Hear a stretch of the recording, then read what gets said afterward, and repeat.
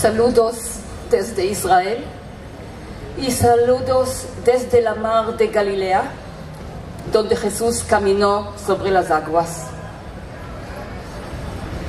שפת ים כנרת.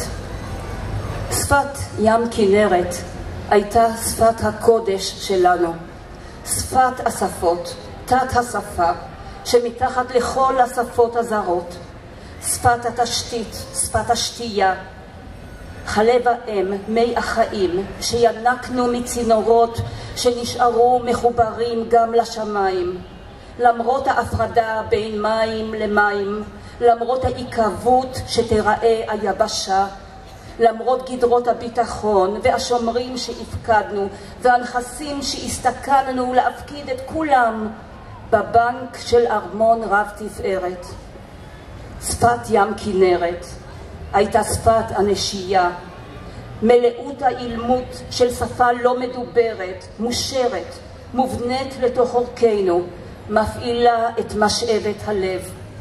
שפת גוף שהסגירה לב פתוח, נביאה אחרי נביאה מלוכה, חדרים חדרים, ארמונות ארמונות, גשרי זהב, שעליהם כולם עוברים, כולם עוברים, ואחרון נשאר.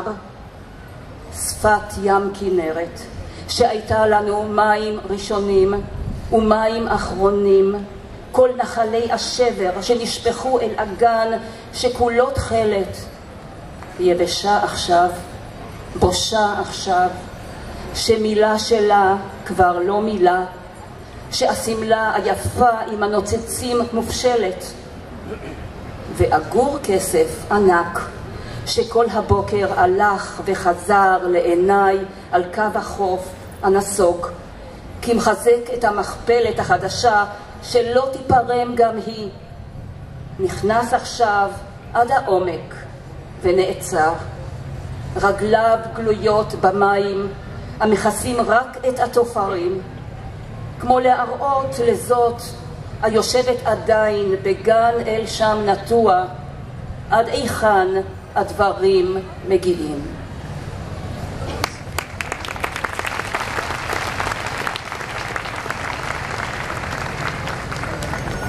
Buenas noches. La poetisa israelí me pidió que hiciera una aclaración introductoria que voy a leer.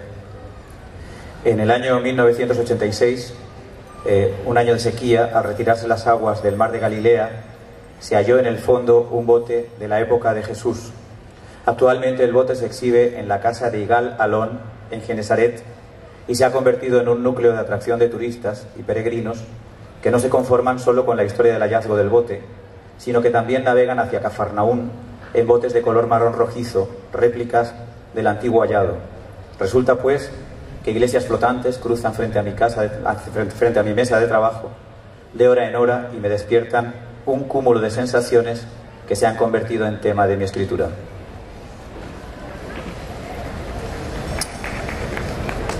Lengua basal. La lengua del mar de Galilea fue nuestra lengua sagrada, la lengua de las lenguas, la sublengua, la que subyace bajo todas las lenguas extranjeras, lengua de fundamento, lengua basal, leche maternal, agua de vida que mamamos de las tuberías que quedaron conectadas también al cielo. A pesar de la separación de las aguas, a pesar de la recolección de las aguas, para que la tierra firme vea. A pesar de los cercos de seguridad y todos los guardias que colocamos y los bienes que nos arriesgamos a depositar en el banco del magnífico palacio.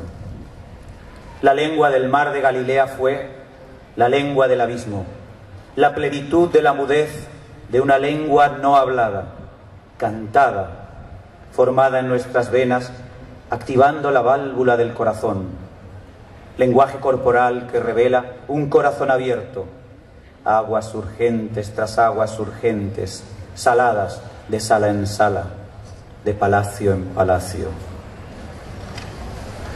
Puentes dorados, que todos pasan, todos pasan, y el último se quedará.